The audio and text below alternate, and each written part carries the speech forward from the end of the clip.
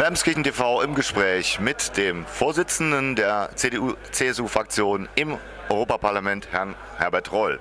Herr Roll, äh, war die Entscheidung, Europapolitik zu machen, aus Ihrer Sicht richtig? Hundertprozentig richtig, weil ich merke, dass das, was da entschieden wird, für die Menschen immer wichtiger wird. Und da ist gut, wenn man da mitmachen kann. Stichwort Glühbirne, Banane. Wie wird das äh, vom Bürger oder aus Ihrer Sicht vom Bürger wahrgenommen? Der Bürger ist zu Recht aufgeregt über solche Entscheidungen wie Glühbirne, Duschköpfe und ähnliches, weil der wirklich sagt, haben die Leute nichts anderes im Kopf. Und deswegen finde ich, wir sollten auch solche Entscheidungen nicht mehr treffen oder rückgängig machen. Äh, das habe ich bisher versucht. Bisher habe ich keine Mehrheit dafür gekriegt, aber man muss eben dranbleiben. Stichwort Euro. Ähm, es gibt ja Stimmen, die die D-Mark zurückhaben wollen. Wie ernst muss man die nehmen? Ich glaube, man muss jeden ernst nehmen, der Sorgen hat. Aber Euro zurücknehmen äh, und D-Mark wieder einführen wäre irre. Es würde die Volkswirtschaft, würde die Arbeitsplätze in Deutschland massiv gefährden. Und allein aus dem Grunde kann man das nicht machen. Ich glaube auch nicht, dass es ernsthaft dafür viele Leute gibt, die das fordern. Es ist mehr so eine Stimmung ab und zu, wenn man sauer ist. Aber es wäre gefährlich für Arbeitsplätze und für Wohlstand in Europa. Stichwort Energiewende. Wie nehmen denn die restlichen europäischen Länder uns da konkret wahr? Ich glaube, die halten da nicht viel von. Die sind da nicht von begeistert. Die haben eher den Eindruck, dass die Deutschen sich nur um ihre Sache kümmern und keine Rücksicht darauf nehmen, welche Belastungen das für die Nachbarländer ist.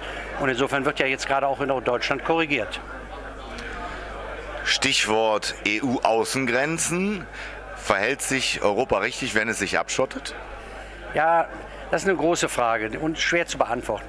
Ich glaube schon, dass wir in Europa nicht alle Menschen, die auf der Welt Probleme haben, aufnehmen können. Das geht nicht. Es geht ja nicht um tausend, die ja gerade in den Booten sitzen, sondern es geht ja dann um Millionen. Und das ist überhaupt nicht zu bewältigen. Äh, umgekehrt kann man aber auch nicht sagen, es geht uns nichts an, wenn die Menschen da auf der Welt an anderer Stelle Hunger leiden und verhungern. Und deswegen glaube ich, das Wichtigste wäre, wenn Europa dafür sorgt, dass die Entwicklungshilfepolitik konzentrierter, wirkungsvoller wird. Dass wir den Menschen da helfen, wo sie leben, wo sie wohnen, wo sie ja auch am liebsten bleiben würden ist es so, dass äh, in den nächsten Jahren noch weitere Mitglieder äh, in die EU kommen? Also ich glaube, dass die Vergrößerung Europas so langsam ans, an die Grenzen stößt. Viel mehr können wir nicht dazu nehmen. Es wird noch ein paar geben. Das frühere Jugoslawien hat sich ja mehrere Einzelstaaten zersplittert. Da wird bestimmt über die längere Zeit noch mal was sich tun. Aber große Projekte wie Türkei oder Ukraine halte ich für falsch. Dann gibt es noch eine ganz wichtige Frage zum Thema Lobbyismus, Stichwort Monsanto oder äh, Suez. Äh, ist das eine Gefahr äh, oder sagen wir mal so, ist die, sind Teile der EU-Gremien möglicherweise käuflich aus Ihrer Sicht? Glaube ich nicht. Ähm, es gibt in aller Politik, in allen Staaten, in allen Parlamenten äh, natürlich immer Situationen, dass Menschen sich über Finanzmittel zu politischen Meinungen hinreißen lassen. Ausschließen kann man es nie, aber es sind immer Einzelfälle und es gibt in Europa nicht mehr oder nicht weniger als woanders.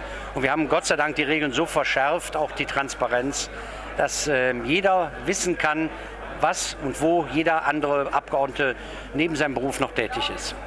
Stichwort Fiskalpolitik, also Steuerflucht. Kriegen wir das in den Griff, äh, dass äh, wir wegkommen von den Briefkastenfirmen, so wie das vielleicht äh, auch in den USA versucht wird in Teilen?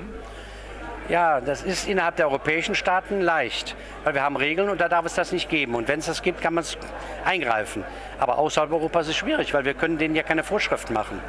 Ähm, das ist dann schon eine Aufgabe international. Das heißt, über Europa hinaus muss man Regeln finden, aber da ist mein Eindruck, das Klima verändert sich ein Stück. Also es gibt immer mehr, die sagen, das können wir nicht laufen lassen, weil auch immer mehr davon negativ betroffen sind. Bedeutet also Schweiz-Liechtenstein demnächst äh, vielleicht Vergangenheit? Nee, Schweiz-Liechtenstein erstens nicht Vergangenheit und zweitens haben die ja gerade die beiden schon eine Menge an Korrekturen in ihrem Regelwerk äh, realisiert, auf Druck von außen. Also ich finde, das Problem ist heute nicht mehr so gravierend, wie es mal war.